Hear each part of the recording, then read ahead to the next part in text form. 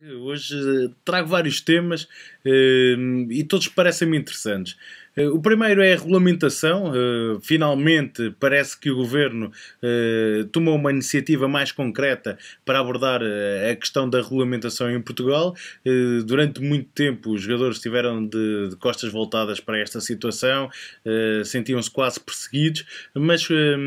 com o falar da situação e com o desenvolvimento que foi tendo esta questão nos outros países da União Europeia, toda a gente percebeu que ia ser praticamente inevitável que a regulamentação eh, acabasse por chegar a Portugal mais tarde ou mais cedo. A própria União Europeia foi pressionando com bastante regularidade eh, que isso, para que isso acontecesse. O governo, por, por alguns problemas, se calhar as pessoas estavam a, a gerir os próprios processos, os, os lobbies que existem sempre nestas questões, puxar para aqui ou para acolá nunca conseguiu eh, avançar com a regulamentação, isso chegou a fazer parte do, do Orçamento de Estado para 2014 2013, eh, acho que até foi 2013, não sei se foi 2013 ou 2014, uh, parecia algo que, que iria ficar esquecido no tempo e, e, finalmente acho que foi também um bocado provocado por causa do chumbo do Tribunal Constitucional, uh, finalmente olharam para, para a questão da regulamentação das apostas esportivas como uma forma de, de, de conseguir algumas receitas uh, e também naturalmente de, de olhar para esta questão que precisa claramente de, de regulamentação também também é, é, a dimensão que, que o jogo online foi adquirindo em Portugal, não só na vertente do póquer, que, é, que está mais próxima de nós, mas também nas apostas esportivas, um mercado gigantesco, e também na, na questão de, dos casinos. Já houve debates na Assembleia da República, debates que eu acompanhei com, com alguma atenção, também muitas notícias nos jornais, ainda naturalmente muita tinta um, irá ser escrita uh, sobre o tema, muitos debates irão ser feitos, mas eu acho que o governo está claramente determinado, tem uma linha a seguir, uh, tem objetivos para concretizar e eu acho que, que o vai tentar fazer uh, com, com o máximo de brevidade possível. A gestão é complexa, é natural que até 2015, pelo menos pelas informações que eu fui recolhendo, não tínhamos uma, uma regulamentação efetiva, eh, mas eh, tudo está a ser feito nesse sentido. Para já, eh, parece-me que, que é bom para o mercado a não atribuição de monopólios, a atribuição de mercados abertos em que qualquer empresa, desde que preencha uma série de requisitos, possa participar na, na, na regulamentação e na aquisição de licenças para o nosso país parece-me muito positiva. Um, irá haver uma, uma luta mais aberta pelo, mercado e eu acho que quem, quem irá ganhar será claramente o, o consumidor. Um, também se fala da, da alteração da, da, lei da publicidade, é algo que foi preponderante mesmo nos mercados regulados, numa regulamentação que não foi, é, na minha opinião e na opinião generalizada dos jogadores é, de póquer, não foi a mais correta, mas a liberalização ou, ou alteração da regulamentação em relação à, à lei da publicidade para que seja uh, possível fazer publicidade de uma forma mais aberta em, canal, em, em canais generalistas, uh, meios de comunicação social fizeram com que o, o número de, de, jogadores acabasse uh, por aumentar e criar uma liquidez maior ao mercado aquilo que preocupa os jogadores eh, de, de póquer portugueses, sejam eles eh, jogadores mais profissionais ou mesmo jogadores mais amadores, eh, pelo menos nesta altura eu acho que ainda não há resposta, não sabemos se o mercado será aberto, será um mercado fechado, eh, foi dito vezes sem conta e eu acho que esta informação, pelo menos pelo que me foi dito, já chegou a, aos responsáveis pelo, pelo governo, que estão de volta desta questão da lei, e, e percebem que o mercado português é um mercado muito pequeno é, e, e, que não, não terá qualquer capacidade de sobreviver, principalmente na, no, na vertente do póquer, uh, se não puderem jogar contra um, estrangeiros. Uh, as informações que surgem são poucas. Uh, o que, acredito, o que eu acredito pessoalmente é que já houve muito acesso à informação, o mercado português, uh, ou os responsáveis por esta questão portuguesa, têm passado muito tempo uh, a assistir a reuniões onde tem, onde tem estado Espanha, onde tem, tem estado França, onde tem estado Itália e, e, percebem os problemas que estes mercados estão a passar e sendo mercados com dimensões 4, 5 vezes ou até mais vezes do que o nosso mercado português. por isso gostava que tivessem mais uma vez atenção. Neste momento, eu acho que é que é aquilo que preocupa claramente os jogadores portugueses e para já uh, temos que, que, esperar para, para saber qual será o caminho a seguir. Uh, mas uh, parecem-me encorajadoras as, as decisões que foram sendo tomadas aqui e acolá, também na, no próprio na proposta de lei fala-se que hum, a regulamentação online deverá ser de acordo com com os bons procedimentos da União Europeia, um, alguma uma, uma afirmação parecida com esta, e, e, pronto, aquela livre circulação de pessoas e bens, que é, que é uma das, das linhas orientadoras da, da União Europeia, parece claramente encorajadora e sem ter uma informação uh, negativa em relação ao fecho do mercado português, temos que continuar uh, claramente esperançados. Outro tema que eu gostava de falar é um tema.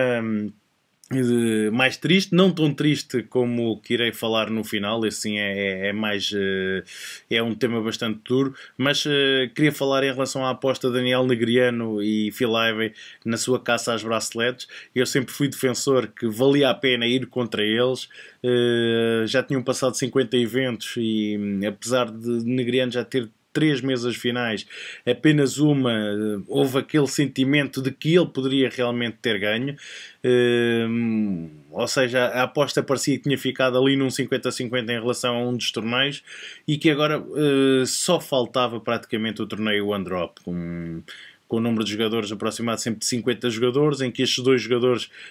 tendo em conta o prestígio e, um, e o valor envolvido, não é? Com um buy de, de um milhão de dólares, eles iam claramente jogar a sério. Eu achava que o problema para esta aposta estava claramente aqui. Depois começávamos uma contagem decrescente uh, até à recolha do dinheiro, mas uh, equívoco total. Phil Ivey que tem feito umas World Series uh, pouco mais do que desastrosas, uh, quase sempre a ser eliminado nos dias 1, quase sempre uh, com alguma regularidade também a faltar a torneios. também o próprio Daniel Negriano Uh, com as várias deep runs que foi fazendo, também faltou a muitos torneios, outras vezes metia folgas, tudo parecia favorável, mas uh, num torneio de 1500 dólares, uh, com mais de 600 jogadores, estes jogadores entraram no último dia em que estavam 14 e eles dois faziam parte desse leque. Eh, não era nada promissor, eh, só esse alinhamento, não é? Temos dois dos melhores jogadores do mundo e pela frente eh, não havia, não havia assim jogadores tão talentosos como isso que lhes pudesse fazer oposição. Negriano voltou a fazer mesa final e não chegar próximo do título. Eh, já Phil Ivey, ainda houve ali um momento quando estavam quatro jogadores que chegou a estar na terceira posição, mas rapidamente conseguiu inverter a situação e praticamente foi uma conquista eh, sem espinhas, da mesma forma que foi inesperada, foi, foi conseguida com todo o mérito, um dos melhores jogadores do mundo, que, que é este jogador. Perdi a minha apostinha, felizmente. Uh, arranjei muitos amigos para se juntar uh, àquela aposta mínima exigida por, uh, por Daniel Negriano, mas dói sempre porque já estava, já estava na contagem decrescente para, para acumular dinheiro. Uh, e pronto, realmente olhando para o calendário e ver que existem tantos jogos daqueles quesitos com, com participações sempre entre 100 e 200 jogadores, dois jogadores de tanta qualidade, se calhar é um problema. Apesar de achar que as odds eh, estão a nosso favor, percebo claramente que, que, com as várias chegadas de Daniel Negriano à mesa final e com esta vitória de, de Phil Phil que se calhar no próximo ano, se esta aposta surgir, vou, vou ter que repensá-la. Fica aqui então a resenha em relação a esta, a esta aposta. Para o fim, eh, duas notícias trágicas no, no, no mundo do, do póquer, uma totalmente inesperada, outra diria que hum, mais ou menos esperada, mas que sempre custosa, eh, e foi o, o desaparecimento ou o falecimento de duas grandes personalidades. A primeira, Jonas Strassman, estava em Ljubljana num amigo, com amigos, em festas, e desapareceu, teve 4 ou 5 dias desaparecido e depois apareceu na margem do rio. Não existe, hum, não existe nenhuma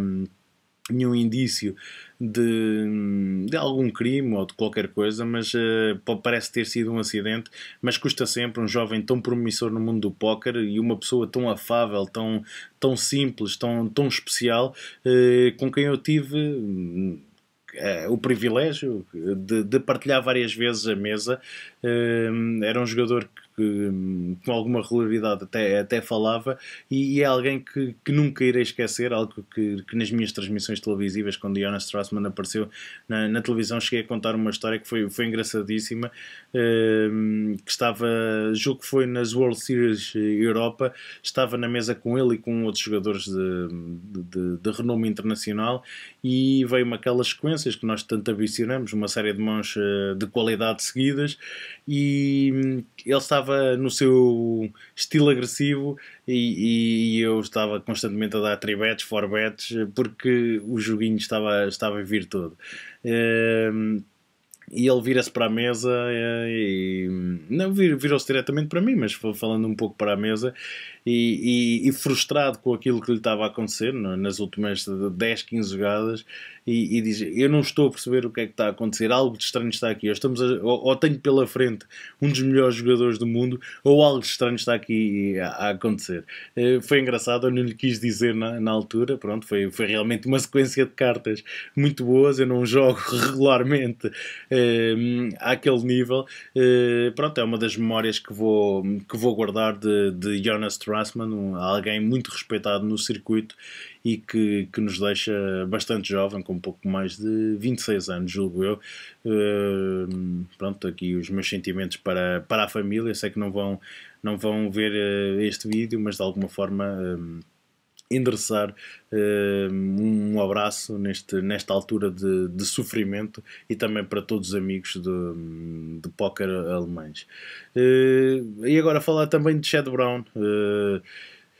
um, um jogador, um, se calhar na Europa não, não muito respeitado, muitíssimo respeitado em termos de, de, Estados Unidos, não só pelos seus resultados, mas principalmente pela promoção que ele fazia ao jogo eh, e pela sua postura na mesa. Um jogador sempre um, bem-vindo em qualquer, em qualquer mesa, muito simpático, uh, sempre a pensar no jogo como, como o seu fim e não, não pensar na sua individualidade para, para, para atingir uh, os principais objetivos que, que, é o dinheiro. Muitas vezes o dinheiro aqui acaba por levar alguns jogadores a ter posturas não tão corretas na mesa. Uh, e Chad Brown foi sempre lembrado. No mundo do póquer como alguém muito especial. Eh, também tenho aqui uma pequena história, não foi bem diretamente comigo, eh, mas eh, é uma história engraçada que acaba por, por mostrar a pessoa especial que era, que era Chad Brown e foi na altura de, do European Poker Tour que passou por Vila Moura, passou em dois anos consecutivos e Chad Brown namorava com a belíssima Vanessa Russo. Eh, quando hum, a Chica quis marcar uma entrevista para, para falar com vários jogadores, eh, foi-lhes dito que também estava Chad Brown para, para ela entrevistar o Chad Brown e ela está sempre pronta para, para falar com toda a gente. O objetivo era mesmo a Vanessa Russo uh, e os Elkis e, e to, todas essas estrelas, uh, mesmo de topo mundial, mas já que lhe enviaram uh, o, o Chad Brown, ela, ela não olhou para trás e foi realmente falar, falar com ele. Foi engraçado que nas imensas entrevistas que ela fez a praticamente todas as grandes estrelas que passaram em Portugal, ela disse que não houve ninguém que falasse melhor, ninguém que fosse mais espetacular, mais simpático, mais claro na mensagem e que guardou sempre um carinho muito especial de, de Chad Brown. Na altura. Hum, achei um bocado estranho, não é? Tanto, tanto, tanto, até o próprio Daniel Negriano chegou a estar em Portugal, não há boca, né? uh, imensos jogadores, agora já nem lembro bem, mas António Sfandiari, uh, e foi, foi aquele que, que a marcou. Uh, pronto, mais uma vez aqui demonstra que. Um, as, as, grandes pessoas, as grandes personalidades também partem numa, numa doença cada vez mais, mais difícil de lidar, cada vez vai criando mais vítimas, que infelizmente quase todos eh, temos ali algum conhecimento ou essa doença ao virar da esquina, eh, é bom que rapidamente arranjem solução para ela, não me parece que esteja o fim à vista, mas pronto, mais uma doença que, que acaba por levar um grande jogador de póquer, Chad Brown, é com tristeza que, que me despeço dele. E, e termino a dar os parabéns às World Series of Poker, que sentindo que hum, Chad Brown estava nas uh, últimas horas de vida, decidiram homenageá-lo e entregar-lhe uma, uma bracelete uh, Hum, simbólica uh, pela sua entrega ao jogo e não por ter ganho nenhum torneio, apesar dele, das World Series ao Poker. Eu acho que ele fez dois segundos lugares, nunca teve direito à sua bracelete e naquele último momento uh, espero que ele ainda tivesse consciente para perceber o simbolismo desta atitude por parte de, de uma das maiores entidades do jogo, as World Series of Poker, para o homenagear eh, na, naquelas últimas horas de vida. Um abraço também para, para a família, para os amigos mais próximos. Uh, e pronto, foram umas notícias melhores, outras piores, mas pronto, falámos uh, da atualidade. Um abraço para todos.